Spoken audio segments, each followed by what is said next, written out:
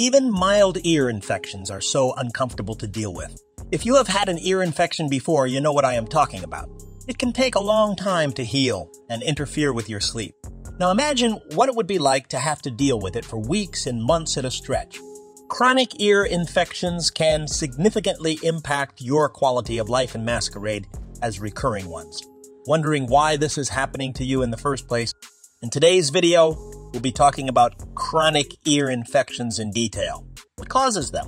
What are its symptoms? And the most important, is it possible to prevent them? We'll talk about all of these and more. Stay tuned and watch until the end.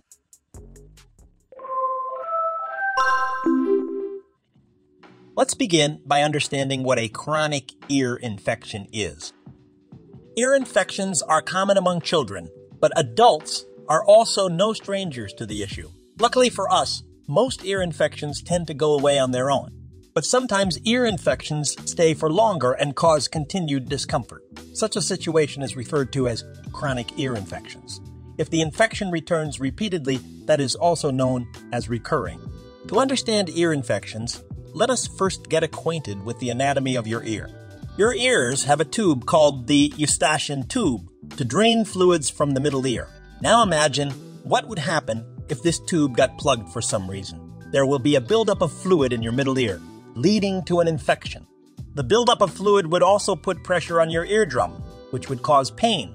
If you ignore the infection, thinking it will go away on its own, the situation could get out of hand. Your eardrum may burst. As you guessed, that's not a pretty picture. Though small holes in the eardrum most often heal, they could cause temporary hearing loss. But ruptured eardrums can lead to permanent damage, not to mention other problems like drainage, sharp pain, and ringing in the ear, tinnitus. In rare cases, you might even need surgery. Referring back to our statement that ear infections are common among children, have you ever wondered why that is so? The answer lies in the length and shape of the eustachian tube. It is smaller in size and lies more horizontally in children, which makes it a lot easier to get plugged. Looking for answers on all the latest health and wellness news? Hit that subscribe button and join our millions of followers. Stay up to date on all our great bestie content. Can chronic ear infections result in hearing loss? Bacteria can cause a middle ear infection, which exacerbates the inflammation. This bacteria or virus can also result in fluid buildup in the area. As we informed you before, fluid buildup in your middle ear can make you lose your hearing ability temporarily. One of the most common kinds of ear infections is called acute otitis media. This occurs when the eustachian tube becomes inflamed and traps the fluid in your ear. Due to the fluid, you can develop pain and swelling, which has a negative impact on your hearing. The other type of common ear infection is otitis media with effusion. In this case, you will find mucus or fluid in the eustachian tube even after the infection has been treated and cleared. Because of the buildup of fluid, you may not be able to hear properly. There are some not so common types of ear infections as well that can harm your hearing ability. Adhesive otitis media occurs when the eardrum ruptures and the walls of the middle ear are breached. This can happen when the eustachian tube had not been in operation for a long period of time. If you get some complications from acute otitis media, it can result in another infrequent type of infection called chronic suppurative otitis media. This happens when the discharge from the middle ear continues to run because of damage to the eardrum. It usually causes hearing loss. Especially in children, ear infections leading to hearing loss are more likely in children. Experts suggest that about 5 out of 6 children will have faced an ear infection before they turn three years old. Symptoms of chronic ear infection. So, how do you identify if you have a chronic ear infection? Is time the only answer? As it turns out, there are a few symptoms you can look out for to determine if you have an ear infection. These symptoms can either occur in one ear or both ear. One of the signs of a chronic ear infection is mild pain that doesn't seem to go away. You would also likely feel a lot of pressure in the ear. If there is fluid draining out of your ears for no reason, it could be because of an infection. There is also a chance you will have problems hearing. Along with these signs, you might also have some trouble falling asleep. A mild fever may or may not be present. As adults, you might be better equipped to figure out these symptoms. But children and babies won't be able to describe the problem in exact detail. In fact, babies can only cry to signal they're uncomfortable or in pain. You have to look for signs and symptoms to figure out if they do have an infection. For instance, if your child is pulling their ear, it could be because of pain. If they become too irritable for no reason, it could be because they are experiencing discomfort from a chronic ear infection. Your child may also find it difficult to lie down. This would be because of a shift in the fluids in the middle ear. They could also have diarrhea or vomiting as signs of a chronic infection. When the fluid in the ear is imbalanced, it can cause an imbalance in the child as well. They might feel dizzy or move around unsteadily. The more obvious sign of an ear infection would be when they are unable to hear properly. Look for discharge or pus. It could be an indication that your child has an ear infection. Consult a pediatrician immediately. What happens if an ear infection is not treated?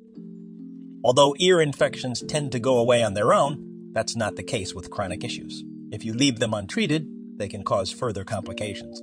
As we informed you earlier, the most obvious issue would be hearing loss. If you leave the infection untreated, it will cause irreparable damage to the eardrum. But that's not all. Leaving the infection untreated would cause damage to the bones present in your middle ear. You would lose balance because the ears play a key role in that. When the infection causes damage to the eardrums, there can be drainage in your ear, you could face an additional problem, like a cyst in your middle ear. In extreme cases, untreated chronic ear infections can even lead to facial paralysis. There have been cases where an untreated ear infection caused inflammation in the brain itself. To sum it up, untreated chronic ear infections can cause a lot of damage, which is not just limited to hearing loss. Other probabilities include damage to the bones present in the middle ear, difficulties maintaining balance, cysts facial paralysis, and inflammation in the brain. A sinus infection can also be the reason for your ear pain. Interested in learning more about it, you can watch our video on the signs and symptoms of a sinus infection. How to treat chronic ear infections. By now, it is clear why chronic ear infections cannot be ignored. Seek treatment from a qualified doctor as soon as possible. Along with treatment, you can also try certain home remedies to help relieve some of the symptoms you face. They are also good for mild ear infections. Let me walk you through some of them. Try warm or cold compress. Ever had a stiff back and found your family or friends suggesting a warm compress?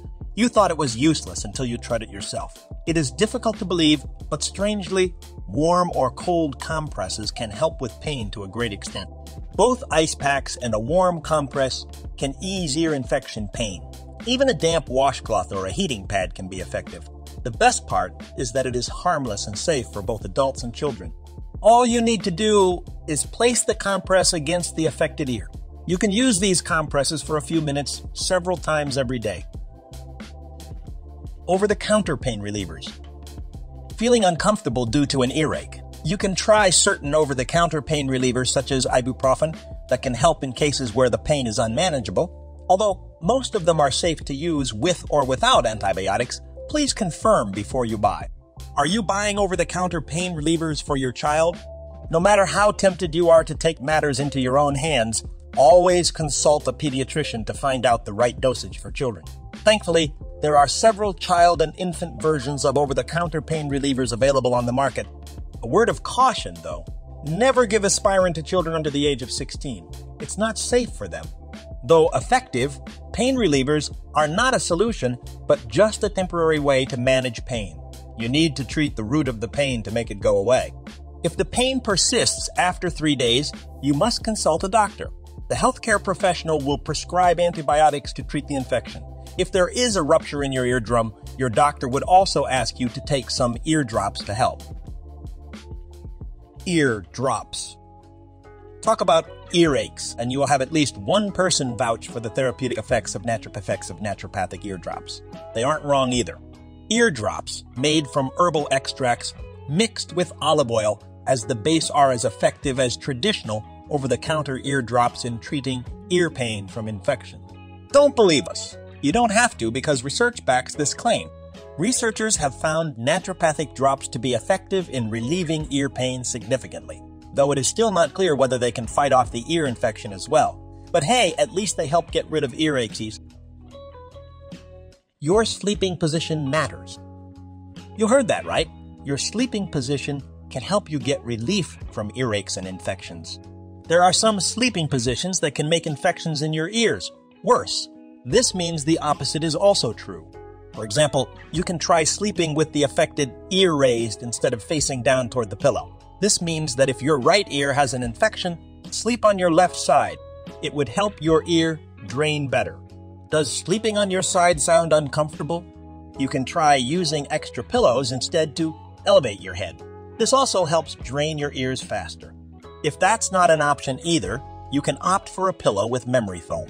Make sure the pad is of a thickness between 4 and 7 inches. These types of pillows relieve ear aches by providing excellent support and contoured comfort compared to a regular one. Do remember that sleeping on a pillow with the wrong height might worsen your problem. It may cause other health problems such as neck and upper back pain. The memory foam pillow you get should conform to the contours of your head and support your ears as well. You need to get enough sleep at night as it promotes healing. Garlic oil eardrops. Garlic is so popular all over the world, not just for the unique flavor it adds to dishes, but also for its healing properties. No doubt, so many cultures call it the healing spice. People have been using it to treat ear infections and earaches for centuries. This is because it has natural anti inflammatory and pain relieving properties. The antibacterial, antiviral, and antifungal properties of garlic come in handy when you apply it topically. Eating it would boost your immune system and help fight the infection. How awesome is that? Science backs these claims. A study involving children dealing with ear pain from middle ear infections found garlic to be surprisingly effective at providing pain relief. They were given naturopathic eardrops containing garlic and other herbal ingredients. It was observed that this was just as effective in managing earaches as over the counter eardrops. Another study agreed with this. It found that when used on their own, naturopathic drops containing garlic were more effective than numbing eardrops used to treat ear pain in children. Now the question arises how do you use garlic to treat earaches and ear infections? Obviously, it is easier to buy garlic oil eardrops from health stores or grocery stores. But in case you have time, maybe try making your own garlic oil at home.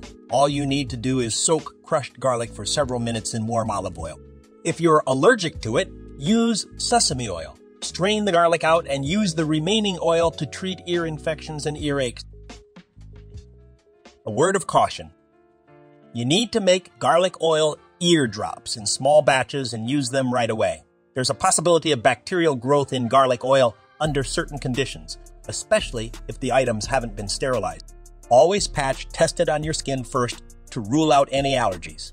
Never use any of the home remedies if you suspect you have a ruptured eardrum. Surgery. When the infection is not responding to any of the treatments prescribed to you, your doctor may suggest surgery. One method to do this would be by inserting a small tube surgically through the eardrum. This tube would connect the middle ear to the outer ear. By inserting the tubes, the fluids can be drained from the ear. This can reduce the severity of your symptoms and even clear the infection. There are various types of ear surgery, depending on the type of infection. If the small bones in your middle ear get infected, you will need surgery to repair them. Then there are times when the eardrums don't heal properly despite medication and good care. Again, the option would be for your doctor to perform surgery to repair the damage. Can you prevent chronic ear infections? Thankfully, preventing ear infections is possible. You just have to be extra vigilant and take action preemptively. We first need to understand why some people are more prone to chronic ear troubles. One of the most common reasons could be a lack of protection from vaccine preventable diseases. Experts suggest that half of the reasons for chronic middle ear infections are due to bacteria responsible for pneumonia and meningitis Your best bet is to make sure you are up to date on vaccinations for these diseases so that you can also protect yourself from ear infections. It is also important to practice good hygiene. Washing your hands regularly is a good way to avoid all sorts of infections. Stop smoking and avoid getting into situations where you would inhale secondhand smoke. If you do develop an ear infection, make sure you follow up on all your doctor's appointments. It is important for your doctor to monitor the progress so that there is no recurrence of the infection. What are some of the best foods you can eat for healthy ears? Healthy living starts with healthy eating. There's no doubt about that. Just like each internal organ in your body needs nutrition to keep working at its best, your sensory system also needs a proper diet. By sensory system, we mean your eyes, ears, nose, tongue, and skin. For example, you must have heard how carrots are great for eyesight since they contain a generous amount of vitamin A. Similarly, there's the best diet for your ears as well. It's just that we always give preference to the health of the eyes and skin over other sensory organs like the ear. So, let me suggest a few foods that will definitely help with your ear health. Bananas. Bananas are our number one recommendation thanks to the ample amount of magnesium this fiber rich fruit offers. But why is magnesium so important for your ear health? Well, a lack of magnesium can cause a number of health challenges, including shrinking of the blood vessels in your inner ear. This will affect the oxygen supply, which can ultimately impair your hearing. Magnesium, found in bananas, helps expand these blood vessels in your inner ears. As a result, there's hassle free improved blood circulation and oxygen reach. It also helps control glutamate, which is the main reason for hearing loss in many senior adults. Dark chocolate. I bet you're happy to see dark chocolate on our list. To be honest, it does sound like music to my ears. Dark chocolate is rich in zinc, which is great for your immunity. And better immunity means your ears will be protected from infections. Zinc also enhances cell growth, which is again good for your ear health. But before you start munching on chocolates mindlessly, you need to know that not all chocolates are good for you. The majority of them are superloaded with sugar, which is not good for your health in the long run, especially for people with prediabetes and diabetes. Always go for dark chocolates that have a minimum of 70 cocoa in them. And of course, eat in moderation. Fish. Do you love seafood? It seems like you should, especially if you want to prevent hearing loss. Fatty fish rich in omega 3 fatty acids can be a game changer for your health. So many of us are guilty of overlooking omega 3 fatty acids and their health benefits. But the truth is, they can play a huge role in keeping your ears functioning properly as you get older. A study examined 100,000 individuals in the United Kingdom to find out the link between blood DHA levels and hearing difficulties. It was discovered that there's an inverse relationship between the two.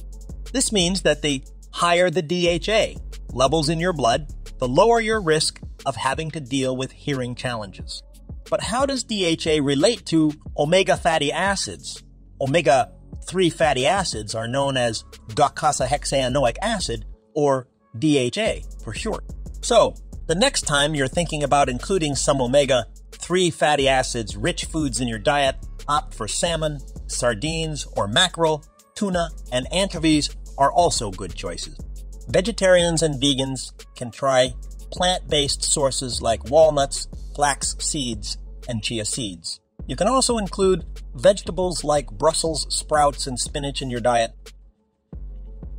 Nobody wants to deal with ear infections and hearing loss out of the blue. It would serve you well if you knew more about keeping your ears healthy and dealing with ear related emergencies. Let's keep the conversation going with a couple more videos, shall we? Watch an insect flew into your ear. What should you do next? You can also try our video on 14 daily habits that are harming your ear. Go ahead, click link. Or better yet, watch both and learn more about how your ears work. Have you ever had an ear infection? Let us know in the comments below.